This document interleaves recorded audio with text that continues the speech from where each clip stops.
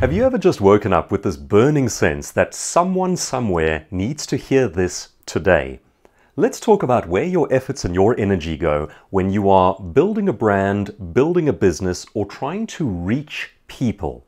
Most entrepreneurs make the fundamental mistake of saying, My target market is everyone. Everyone should love what I do. I'm trying to sell to the whole world. Whether that is a product that you're trying to get out into the market, a book that you are writing, a song that you have in your mind, or something that you're developing that requires people, crowds, fans, followers, customers. It is a fundamental mistake to define your target market as everyone. I want you to picture a sprinkler system with too many outlets. You've got your water hose and it can only put out so much pressure at any given time. And what you've then done is decided that you want to water the world. What happens to the water pressure? It dissipates and nobody gets wet. What happens if you go a whole different route? What happens if instead of saying the world is my target market, you say the person with this psychographic, that demographic, that's my target market. I'm not trying to reach everyone because I'm not for everyone.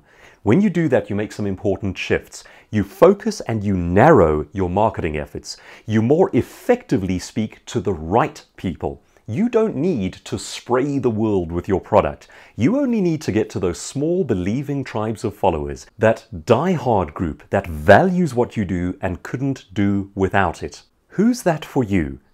Are you making the mistake of dissipating your energy, your time, your resources, and your marketing message in trying to reach everyone and you end up like a whisper in the wind? What if you change strategies?